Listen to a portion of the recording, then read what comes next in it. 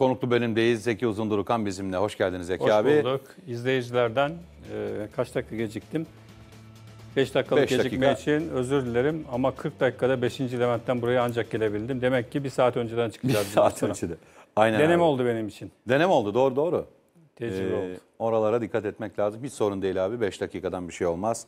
Önemli olan sağ salim gelmek. Biz Gelmek, oradayız. evet. Şimdi Zeki abi tabii çok konuşulacak konu var kabul edelim ama herhalde en fazla konuşulması gereken konu bu hafta oynanacak iki mücadele. Evet. Ama alt sıraları da konuşuruz. O ayrı ama Evet, evet. Şu anda ligin kaderi iki maça bağlı. Kaderi derken şampiyonluk yarışı. Bir tarafta Antalya Başakşehir cumartesi, bir tarafta pazar Galatasaray Trabzon. Bir kere şöyle bir soru sormak istiyorum abi. Antalya Başakşehir maçı pazarı etkiler mi?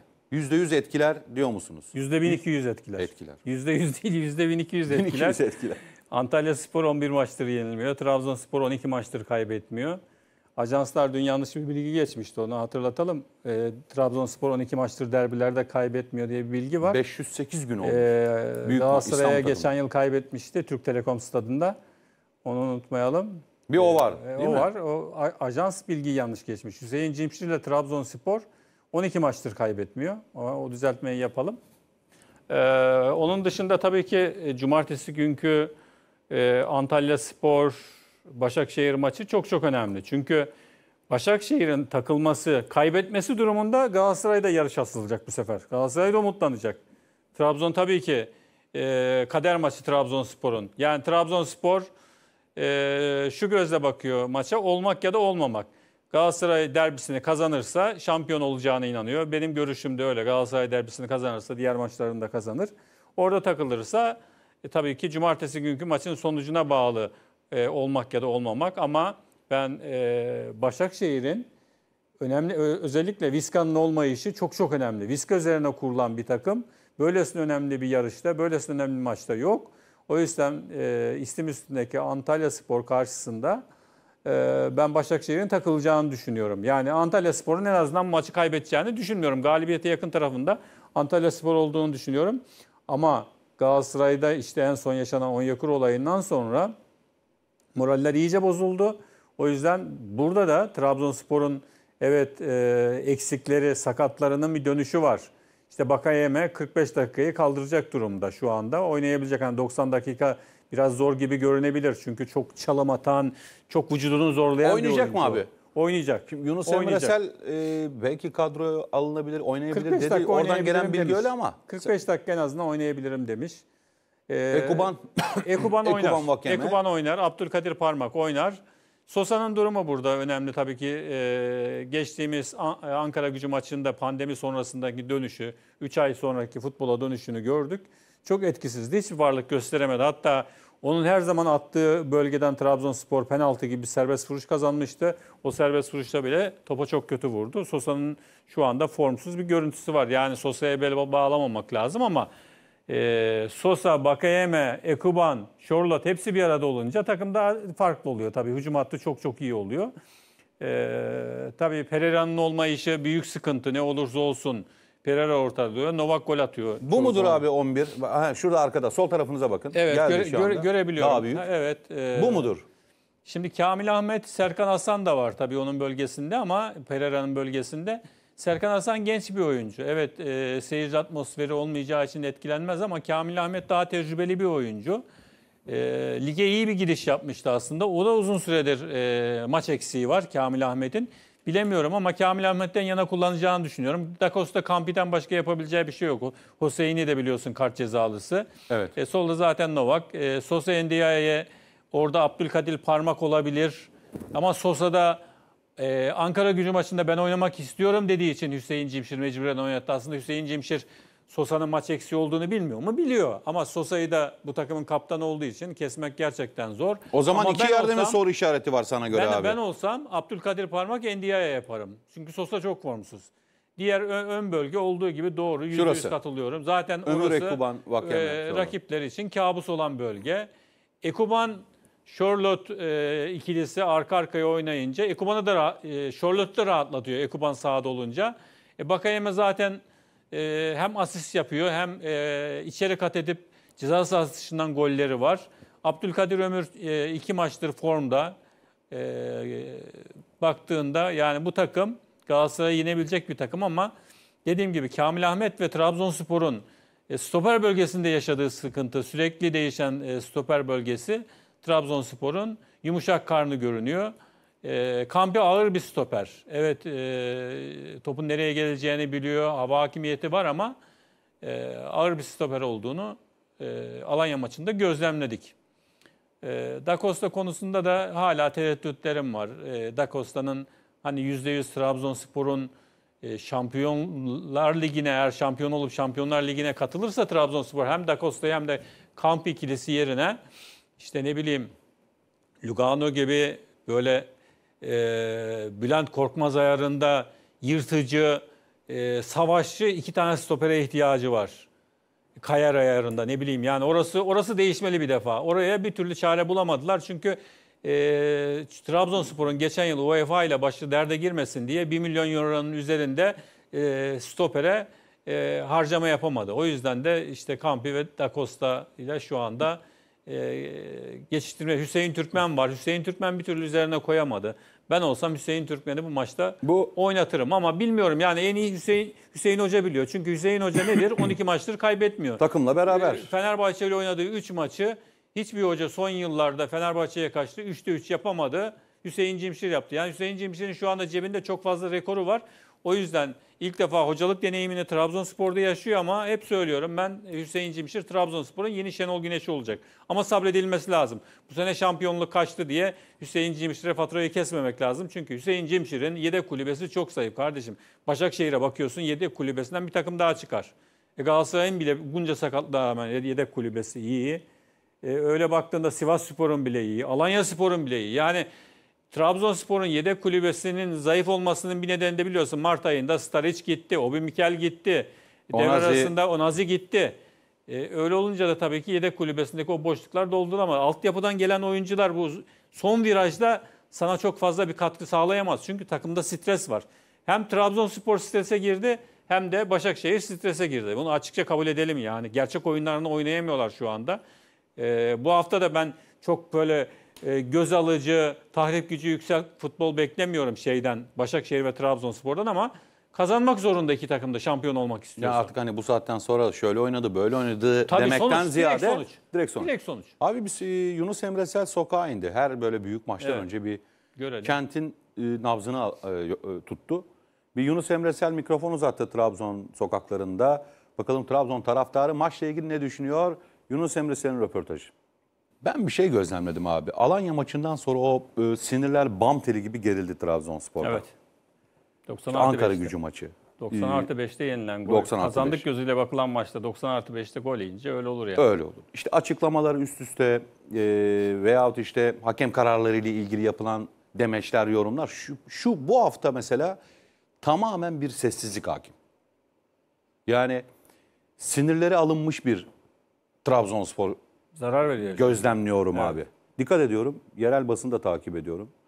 E, ulusal medyayı da takip ediyorum. İşte burada yapılan bir bir e, sinirleri alınmış bir Trabzonspor görüyorum pazartesiden bugüne. Yani 4-5 günde.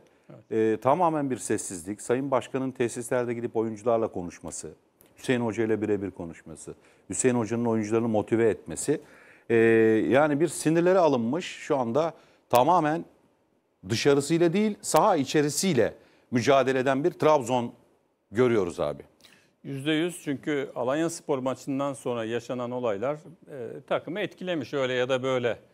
İşte e, başkanın o küfürler karşısındaki tepkisi, e, karşılıklı atışmalar, 90 artı 5'te yenen gol, kazandık gözüyle bakılan maçtan sonra yaşanan o hayal kırıklığı takımı etkilemiş ki Ankara gücü maçına yansıdı. Aslında Ankara gücü maçında saat 3. dakikada gol bulduktan sonra Trabzonspor 3'ü 4'ü 5'i bulmalıydı.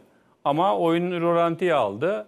İşte e, Bakayemen'in de yokluğu, Sosa'nın formsuzluğu, e, Charlotte'un da 3 kişiyle mücadele etmesi, çok tekme yemesi, hakemin e, Ankara güçlü futbolcuların sert futboluna ayak uydurması, göz yumması bir sürü detaylar var. Pereira yapılan pozisyonda penaltıyı verip Trabzon lehine olan pozisyonda çizgiyi yamuk çizip penaltıyı vermemek için offside'i icat etmeleri. garip garip durumlar. Yani şimdi Trabzonspor'daki sessizlik var ama maçın hakemi de Cüneyt Çakır. Cüneyt Çakır e, Trabzonspor'un genelde penaltılarını vermeyen bir hakem.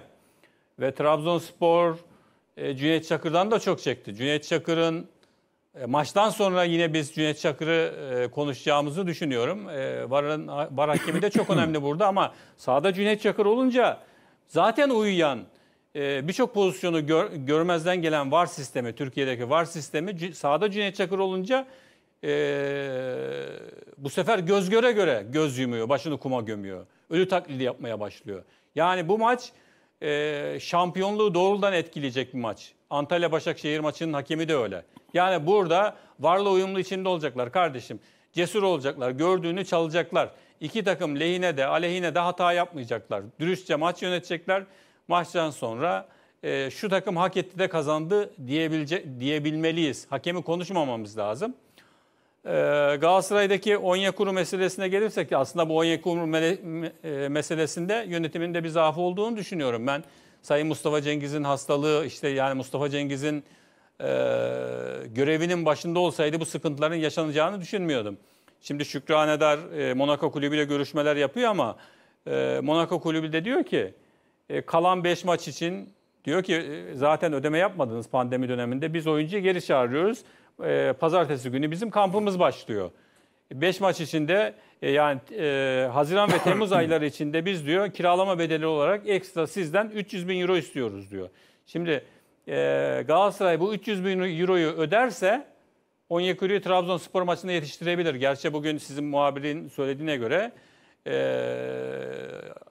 aşı herhalde te- teste, teste de girmemiş. Ha, Bavulunu toplamış belli ki gidecek. tabii. Biraz zor günü gözüküyor kampa abi, zor gözüküyor. Öyle görünüyor. Galatasaray da vermeyecek. Belli yani. O 300 bin euroyu vermeyecek. Kaç eksik var abi saydığına göre? Abi Galatasaray'da şu anda e, ideal Falcao. kadroyu ideal kadroyu sayamayız. Mustera Ya, yok, Muslera Falcao var. yok, E, ha, Luyendama e, yok. ha, onlar zaten yok. Onyekuru'yu da yok diyoruz. Onyekuru, Onyekuru önemli bir yokluk yani Galatasaray için aslında. Belki en önemlisi. Yani belki. o şimdi forvette kim oynayacak? Mesela Yunus Akgül mü oynayacak? Kim oynayacak? Bilemiyorsun. Ee, Stoperde kim oynayacak? Stoperde hadi bir, bir tarafa Donka koydun. Yanına kimi koyacaksın? Lemina. Bayram'ı mı koyacaksın? Ne yapacaksın? Ne, ne edeceksin bilmiyorsun ki. Yani Fatih Terim sinekten yağ çıkaracak. Ama yine de Galatasaray Galatasaray'dır her zaman. Onu da söyleyelim. Ama Onyekuru konusunda e, Fenerbahçe'nin de bir ilgisi olduğunu biliyoruz. Hatta e, bu görüşmede şöyle bir şey de oluyor. E, onunla ilgili Şu de... çok önemli abi. Size ona bakarken Evet. ben de onu söyleyeyim. Buldunuz mu? Evet, Notu? evet, Ha, evet. Buyurun. Yani Onyekuru'nun Fransızlar Şükrane Dera diyor ki Monaco kulübü yetkilileri hani siz bu kadar tamam e, alacak verecek meselesinde sıkıntı yok ama diyor e, pandemi sonrasında e, biz para istiyoruz ekstra. Ne olacak? Yani e, bir, bu ödemeyi de yapmadınız artı diyor ki e, Fransız menajer e, önce Fransızlar Şükranedara şunu söylüyor. Türkiye'den bir ekip e, Onyekuru için 8 milyon euro ödemeyi kabul etti. Galatasaray da bunun hani bir tuzak olduğunu düşünüyor. Çok oralı olmuyor. Yani fiyatı piyasayı kızıştırma E, Mı diyorsun abi? o, e, Kızıştırıyorlar mı? Öyle yorumluyorlar ama aslında e, Fenerbahçe'nin sportif direktörü Emre Belözoğlu dirsek temasına geçiyor Monaco kulübüyle. Hani biz e, Mona şeye e, Onyekuru'ya Fransız Onyekuru'nun Fransız menajeriyle görüşüp Onyekuru'nun Galatasaray'dan aldığının iki katını vermeye hazırız. E, sana da e, komisyon olarak ne kadar alıyorsan onun iki katını e, vermeyi düşünüyoruz gibi bir e, proje, plan ya da teklif sunuyor.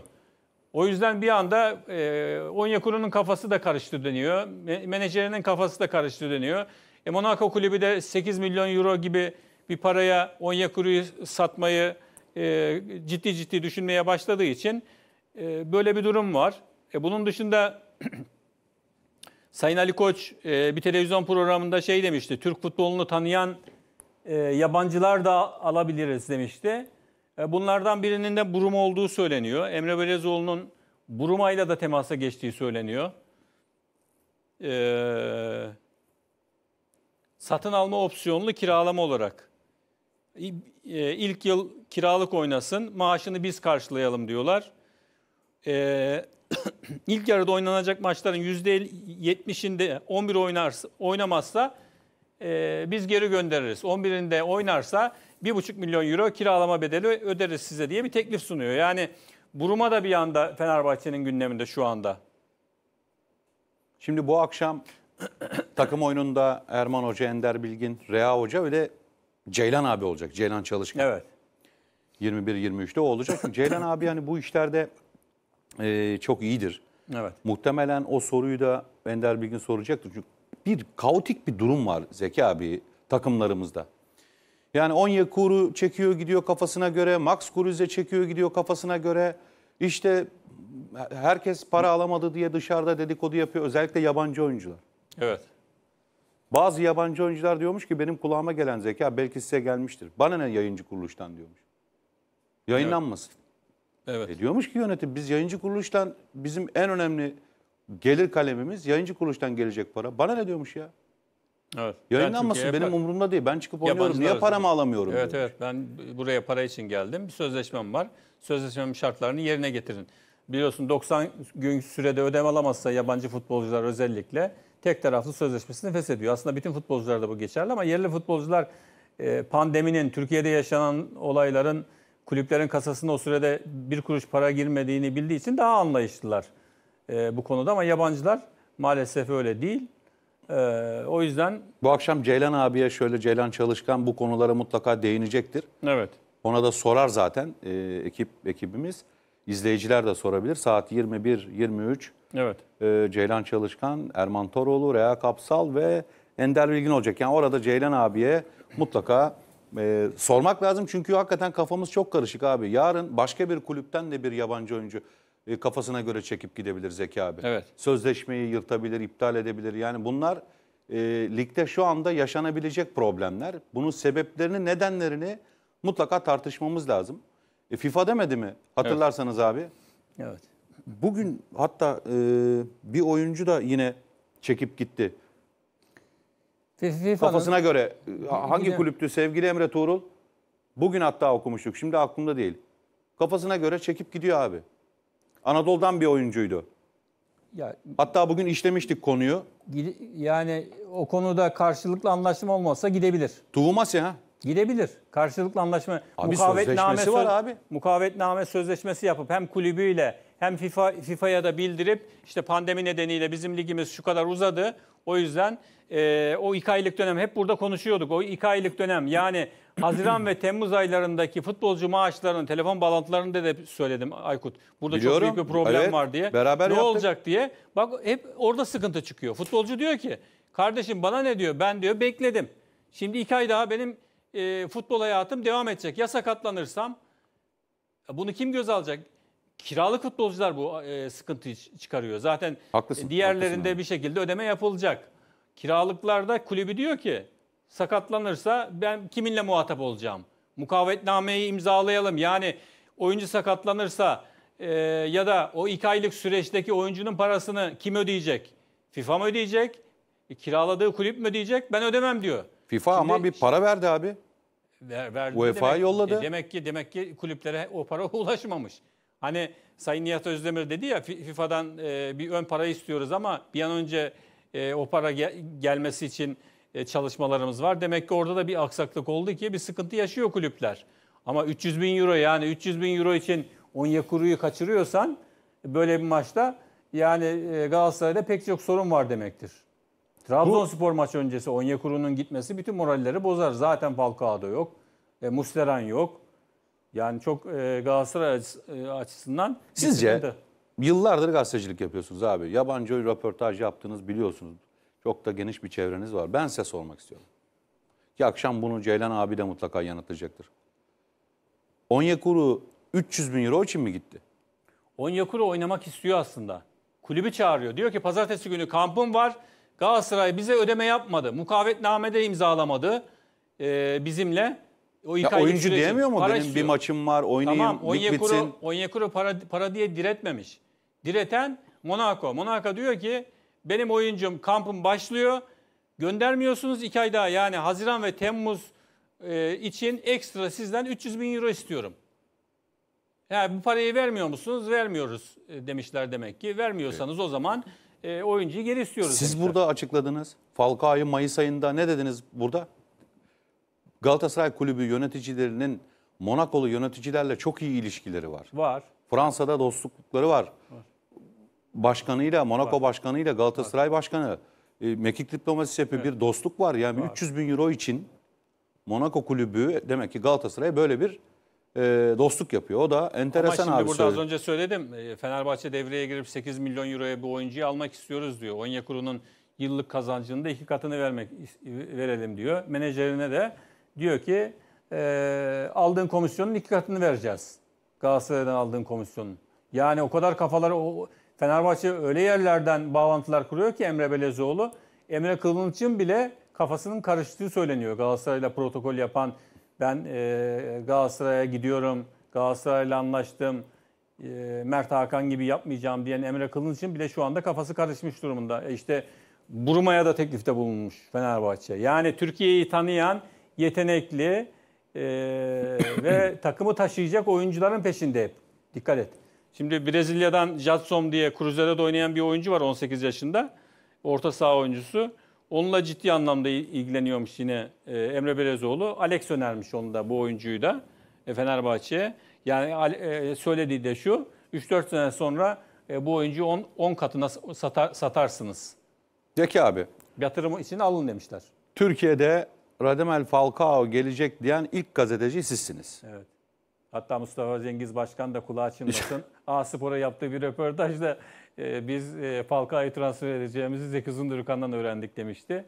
Ama belliydi yani. Bu tarafa döndüğümüzde naçizane sevgili kardeşim daha biz senin yanında çırağız. Ben de diyorum ki Falcao gitti. Falcao'nun menajerini çağırmışlar aynen Şimdi dediğin gibi. burada Evet. siz getirdiniz Sen ben götür. gidiyor diyorum. Aynen aynen. Yüzde yüz Belki katılıyorum yanlış bak. söylüyorum. Hayır yanlış, Yanlış da bir duyum olabilir ama ne diyorsun abi? Yüzde yüz katılıyorum. Bir, e, bundan 20 gün önce menajer- menajerine çağırıyorlar. Diyorlar ki bon servisinde de her türlü kolaylığı sağlarız. E, maliyeti çok yüksek. O yüzden biz daralmaya gidiyoruz. Şampiyon olamazsak e, Falcao'ya takım bul, kulüp bul diyorlar.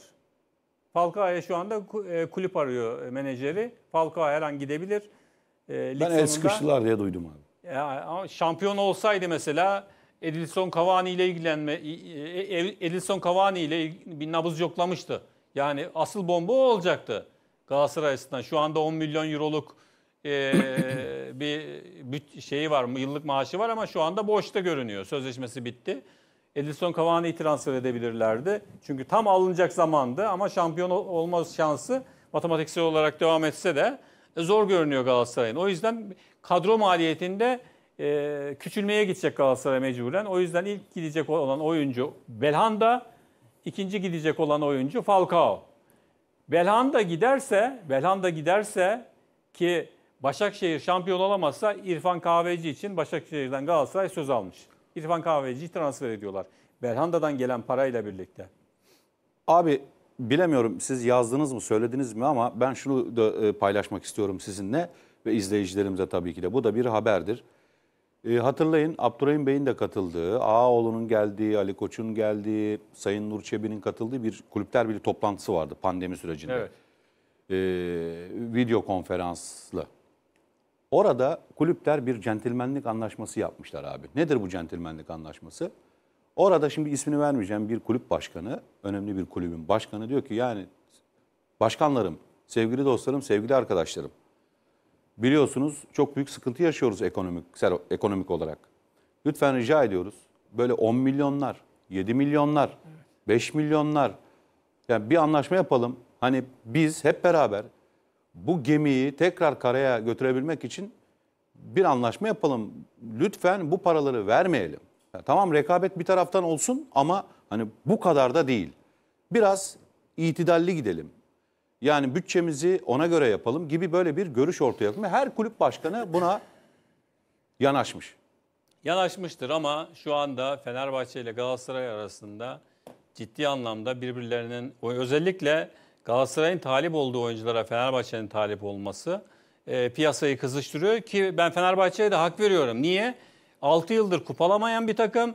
E, Sayın Ali Koç için son şans önümüzdeki sezon. Önümüzdeki sezon e, Fenerbahçe şampiyon olamazsa, kupayla sezonu bitiremezse, bir kupayla bitiremezse Ali Koç dönemi Fenerbahçe'de biter. Çünkü şu ana kadar Ali Koç e, çok başarısız. Çok para harcadı. Kulübün parasını tamam hep şunu söylüyorlar. Ali Koç cebinden para verdi. Ya kardeşim para verdi de Verdi verdi. e, verdiği a- yapılan abi. transferler ne oldu? Onunla sıfırladı. Ersun Yanal'a verdiği para, yaptığı o 30 transfer. Ortada takım yok. İşte Komolli hatasını kabul ediyor canım söyledi zaten. Komel hatasını kabul ediyor da Ali Koç cebinden para verdiği paralar boşa gitti yani. Verilen o paralarla ortada bir takım yok. Emre Belezoğlu yeni bir takım kuruyor. Yeni bir hoca getirecekler. Yani şu ana kadar Sayın Ali Koç'un verdiği paralar e, boşa gitmiş oldu. Çöpe attılar parayı. Ne dedik burada? Ersun Yanal'ı almayın, almayın, almayın. Aldılar.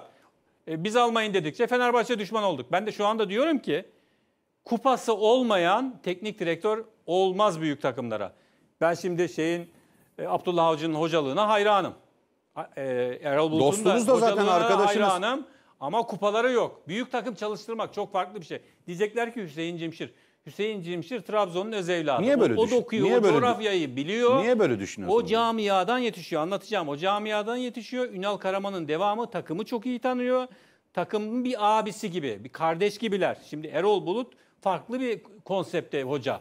Erol Bulut Alanya'dan gelecek. Alanya'da başarılı oldu. Ama Fener medyası çok farklı bir medya. İki maç kazanır Erol Bulut mesela. Göklere çıkarırlar. İki maç kaybettiğinde de yerin dibine sokarlar ve derler ki e, Erol Bulut'a Fenerbahçe ceketi bol geldi.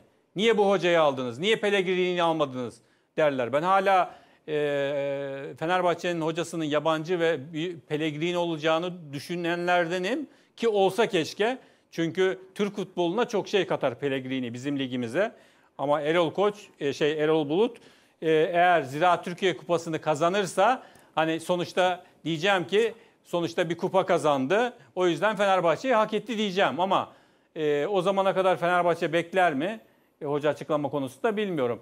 Eğer Erol Bulut Trabzon'u yenip Ziraat Türkiye Kupası'nı kazanırsa Fenerbahçe'yi çalıştırmaya hak etmiş bir hoca olur. Kaybederse Fenerbahçe'nin kupa tecrübesi olan bir hocaya ihtiyacı var. Ben birinci sıraya Pellegrini eğer olabiliyorsa çünkü 2,5-3 milyon euroluk bir e, yıllık ücret istiyor.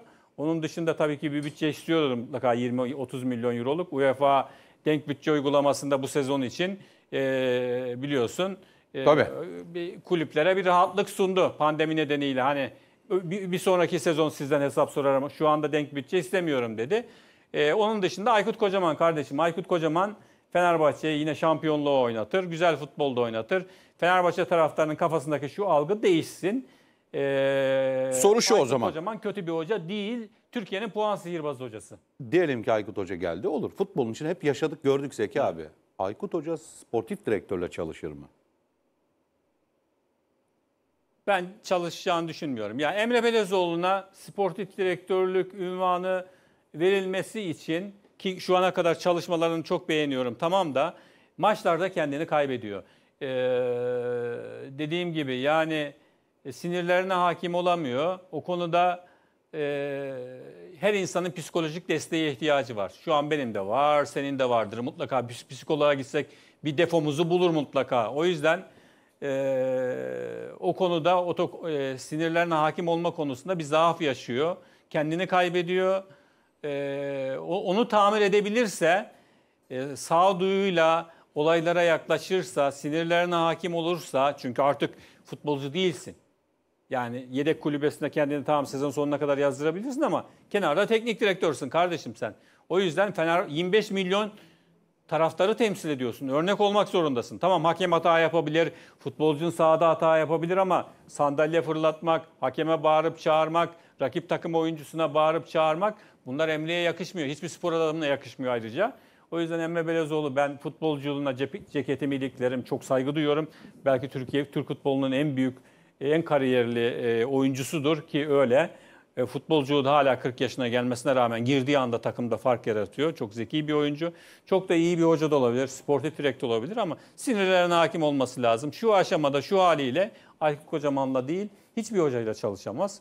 O yüzden o, o, o konuda e, biraz daha sakin olması lazım. Çünkü o Yani- sakinlik yok şu anda. Yok mu? Yok. Ben göremiyorum yani. Her maçta kendini kaybediyor. Transferde böyle e, Ki şeyde e, Malatya maçında Gökhan Töre'ye yaptığı hareket hiç yakışmadı. E, Hmm. Umut Bulut'a söylemiş ya maçtan sonra. Evet e, Gökhan'ın bana bir hareket olmadı. Sarı kartlık bir durum yoktu diye. Onu saha içinde söyleyeceksin. Çünkü bir görüntü var. E, Gökhan Töre yalvarıyor. Abi söylesene sana dokunmadım niye söylemiyorsun diyor. Emre de e, Gökhan Töre'nin yüzüne böyle sinirli bir şekilde bakıyor. Yani ondan sonra kalkıp da e, işte e, e, Gökhan Töre bana dokunmadı demek neye yarar? Eğer o maç içinde hakeme uyarıp sarı kartını geri almasına neden olsaydı Fair Play ödülüne aday olurdu. E, herkesin gözünde 10 kat daha büyürdü Emre Belözoğlu. O zaman ceketimi iliklerdim. Hırçın. Helal olsun Emre Belözoğlu'na derdim Ee, ama şimdi yakıştığını düşünmüyorum. Sağ Gerek yok yani. Üst hırçın. puandan daha önemli şeyler var.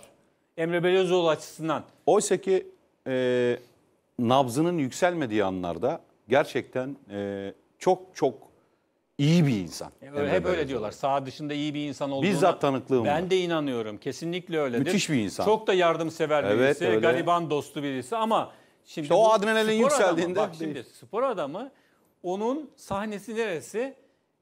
Sağ içi yeşil sahaydı. Seneye neresi olacak? Sağ kenarı olacak. İşte 25 milyon taraftara örnek olacak. Bütün futbol severlere 83 milyona örnek olacak. Örnek bir spor adamı olmasını istiyoruz biz. Kariyerli futbol hayatı gibi Emre'nin. Ya çok zor bir şey değil ya sinirlerine hakim olmak. Cemal Kamacı kulakları çınlasın ünlü boksörümüz. Onunla bir röportaj yaparken mikrofon uzatmadığım anda abi dedim sen yani boks gerçekten adrenalin yüksek ve sinirli e, ama dedim hiç öyle bir insan değilsiniz. Ringde kulağın da patlasa sinirini orada çıkartacaksın. Sokağa çıktığında bambaşka bir adam olacaksın dedi. O önlüğünü orada bırakacaksın. Aslında Emre de öyle ama biraz dozajını kaçırıyor diyebiliriz abi saha içinde. Ama hakikaten çok iyi bir insan. Ee, örnek bir kişilik, bir aile babası. Ya e, transfer çalışmalarını da çok beğeniyorum. İyi bir kadro kuruyorlar. Emre'nin istediği oyuncular alınırsa iyi olur. Belli ki e, Emre bu transferleri yapıyorsa hoca e, Sayın Ali Koç'un söylediği gibi belli. Hoca ile birlikte il- iletişim halinde bu transferleri yapıyorlar. Demek ki hoca Pellegrini'nin dışında e, Erol Bulut, Okan Hoca olabilir, Okan Buruk. Aykut Kocaman olabilir. Çünkü bu yerli oyuncuları da biliyor. Türkiye'de oynamış yabancı futbolcular. Abdullah Avcı olur mu? Abdullah Avcı olmaz. Abdullah Avcı Galatasaraylı'yla biliniyor. Son döneminde de e, başarısız oldu e, Beşiktaş kariyerinde. E, Erol Bulut'u taraftar da istiyor belli ki. Bir şans vermek lazım ama ben hala diyorum ki kupa kazanmış bir hoca olursa daha özgüvenli olur ki e, Zira Türkiye Kupası'nı alırsa Fenerbahçe'ye yakışır. Onun dışında ben hala birinci tercihim. Ben gözü kapalı olarak e, Sayın Ali Koç'un yerinde olsam bazı tatsızlıklar yaşanmış olabilir ama Aykut Kocaman e, gel oğlum Fenerbahçe'yi çalıştır dediğinde Sayın Ali Koç e, koşa koşa gelir. Hiç boş mukaveleye imza atar. Öyle e, devasa bütçeler de istemez. Güzel bir takım kurar e, ve e, e, Fenerbahçe'yi şampiyonlukta son haftaya taşır. Ben mesela şey de dikkatimi çekti. Geçtiğimiz günlerde Fenerbahçe Kulübü Başkanı bir televizyonda canlı yayına çıktı. Evet. Biliyorsun abi izlemişsindir. İzledim. Tabii biz kimse arabulucu değiliz. Yani bizi de bağlayan bir şey yok da. Sayın Aziz Yıldırım'la bir soru soruldu orada. Hiç görüştünüz mü diye. Hiç hiç görüşmemiş. Ya şöyle Yani söyleyeyim. O- Eskiden o konuda, hani He. hiç eski başkanlar birbiriyle illa bir konuşur. Yani şöyle oldu, böyle yaptı. Hani en azından bir mazmata töreni olur. Öyle değil mi? Şimdi şöyle söyleyeyim. Hiç konuşulmamış. Sayın Ali Koç e, e, bu konuda e, yüzde yüz doğru söylüyordur. Çünkü Sayın Aziz Yıldırım'la benim bir görüşmem olduğunda bundan e, epey süre geçti. Bayağı sohbet ettik ama e, futbolla ilgili sohbet etmeyelim dedi.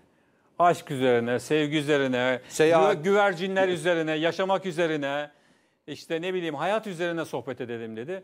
E, Fenerbahçe dedim bir gün dönecek misiniz? Asla dedi. Benim için dedi e, e, o tü- protokol tribünleri, işte e, takım e, başkanlığı yapma dönemleri bitti. Ben hayatımı yaşıyorum dedi.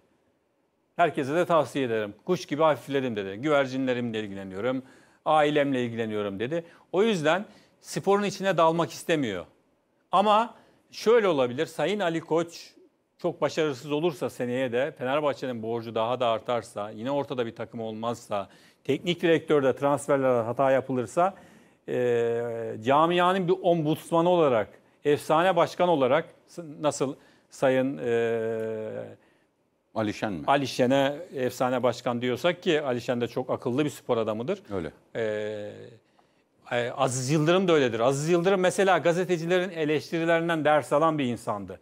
Direkt gazetecilere taraftarın önüne atan biri değildi. Kendi, yani biz A- A- Aziz Yıldırım'ı da çok eleştirdik. Yok canım, Ama bas- Aziz bas Yıldırım toplantılarında Aziz Yıldırım yan yana gelince e, insanla tokalaşır, sohbet eder, ne haber, nasılsın Aykut'cuğum diyen bir insandı. Öyle, öyle, öyle. Her şeyi unutan bir insandı. Kin gütmezdi. Ama şimdi bakıyorsun e, Sayın Ali Koç eleştiriye tahammül edemiyor. Biz oysa Fenerbahçe'nin önüne her zaman e, gö- e, gözüne değil önüne ışık tutuyoruz. Niye Fenerbahçe yarışta olsun istiyoruz? Çünkü hepimiz aynı gemideyiz. Fenerbahçe yarışta başarılı olursa spor medyasının da bereketi artar. Biz niye Fenerbahçe düşmanlığı yapalım? Galatasaray, Beşiktaş, Trabzonspor düşmanlığı yapalım ya. Böyle bir saçmalık olur mu? Yani e, herkesin herkesi memnun edemezsin bir defa. Herkesin düşündüğü gibi Şimdi, düşünemezsin ama haksız eleştiriler Fenerbahçe'yi başarılı olmasını istiyorum ben.